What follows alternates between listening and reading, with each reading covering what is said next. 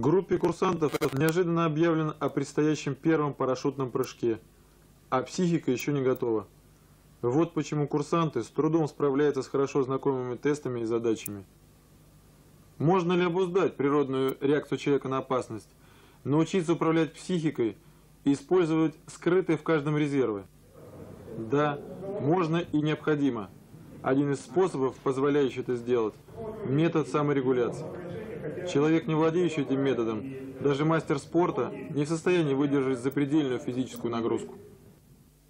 Понятия по психической саморегуляции э, необходимы личному составу для повышения работоспособности, работки в экстремальных ситуациях и условиях с наибольшей эффективностью и качеством. На данных занятиях используются приемы для повышения резервных возможностей военнослужащих. Эти приемы можно использовать как в режиме э, гипноза, так и в режиме э, саморегуляции. А вот офицер, прошедший специальную подготовку по саморегуляции.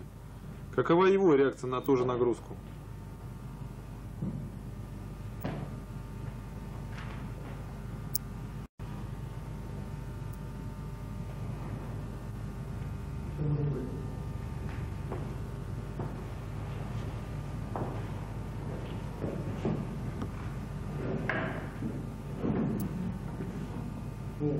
Любого из вас так положить.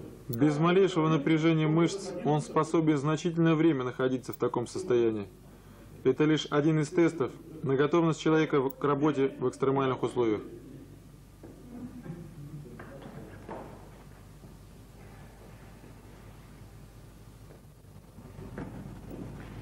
Методика психической саморегуляции позволяет за 3-4 недели обучить военнослужащих управлению своей психикой. Никакой боли. Подготовленный человек, в владеющий собой, совершает буквально чудеса.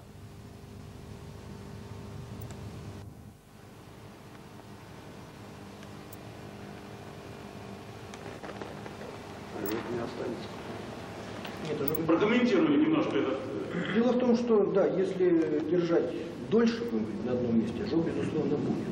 Органика горит, закон химии. химии. Но вопрос в другом, что э, болевая чувствительность, во-первых, значительно снижается, это раз, во-вторых, характер ожога совершенно другой. Он заживает в два раза быстрее.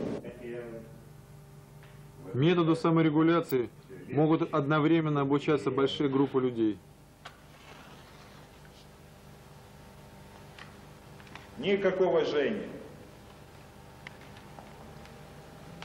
Данная система состоит из двух направлений. Первое направление – это использование гипнотического внушения для повышения резервных э, возможностей человека. Это направление включает в себя метод гипнопрограммирования, а также метод развития э, психических процессов и повышения способностей у человека. Метод э, гипнотического программирования предназначен для э, программирования поведенческих реакций в экстремальных ситуациях. Необходимо сказать, что этот метод позволяет повысить работоспособность человека в боевых условиях от 40 до 80% в зависимости от э, вида профессиональной деятельности. Вторым направлением использования гипнотического внушения является развитие у человека э, его э, психических процессов. Ну, прежде всего таких, как памяти и внимания, то есть тех психических процессов, которые необходимы для овладения э, современными видами боевой техники. В данном случае демонстрируется развитие возможностей памяти. Руки перед собой. Руки перед собой. Так, руки перед собой. Так, внимание. Сейчас я досчитаю до трех. Вы резко опускаете руки. Мы проверим ваше восприятие. Итак, один. Два. Два с половиной. Так, спасибо. Все опустили руки, остались здесь. Пройдите, садитесь, пожалуйста, на ваши места. Стрелок.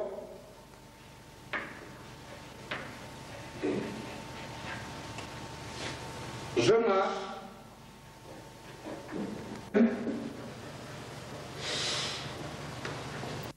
Итак, Обычно человек сразу запоминает 6-8 слов. После гипнотического воздействия свыше 30. Самолет. Склон. Правильно. Четвертый.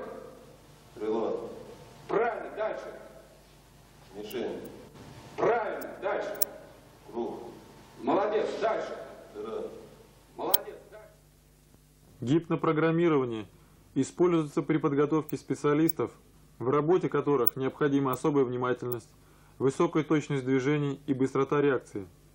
Такие специалисты необходимы во всех видах вооруженных сил.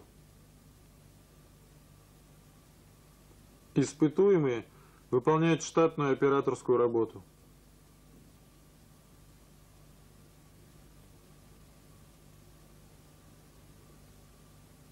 С помощью электровоздействия моделируются экстремальные условия работы оператора, что приводит к значительным нарушениям нормального состояния его психики. Результат – большое количество ошибок. Будете слушать только меня. Мой успокаивающий, усыпляющий действующий голос. И смотреть на этот блестящий, очень блестящий шар. Только на этот шар и слушать только меня и мой голос. Я буду считать от единицы до пяти. Методом гипнопрограммирования у оператора создается установка, действующая в течение года.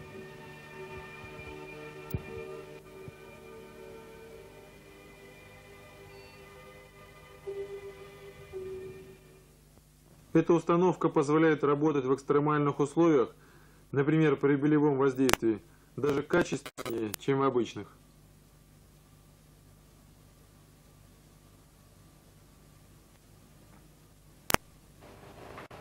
Метод гипнотического воздействия применяется как индивидуально, так и в воинских коллективах. Очень тяжелые металлические шары. Необычайно тяжелые. Как вы не сопротивляетесь?